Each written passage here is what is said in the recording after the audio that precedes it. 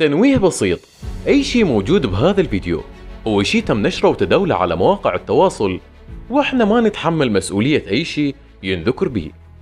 القضاء العراقي يحكم بالسجن لمدة ثلاث سنوات للإعلامية همسة ماجد مع وقف التنفيذ بعد شكوى قدمها عليها الإعلامي ميناس السهيل اللي نشر فيديو صرح به عن تعرضه للتهديد واتهامه بأشياء هو بريء منها من قبل همسة. إن شاء الله راح أخليها تعرف شنو معنى القانون. و وبس أنا ما راح أقطع إجازتي لأن إجازتي يعني تعرفون أنا إنسان أشت... إعلامي أشتغل في مؤسسة.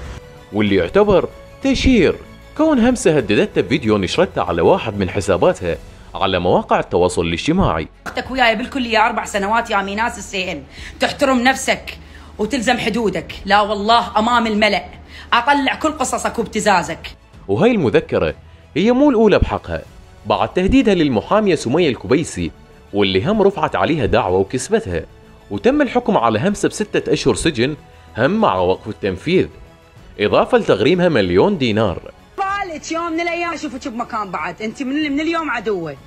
واسمع دا أقول لك تراني همسة ماجد ما خاف وقفت من الغباشي بباب المركز مال الشرطه ووراي ظهور مو ظهر واحد. وراي إخوالي كلهم مخابرات. همسة ماجد الإعلامية والفنانة العراقية.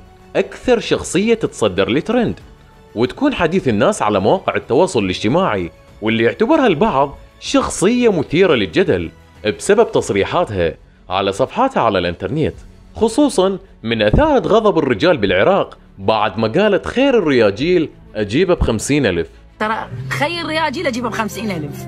شنو الرجال؟ السؤال هنا راح تلتزم همسة ماجد الصمت. لمدة ثلاث سنوات وما تصرح أي تصريح يستفز أي أحد خصوصا أنه القضاء ألزمها بحسن السيرة والسلوك خلال هاي المدة. شاركونا بآرائكم بالتعليقات.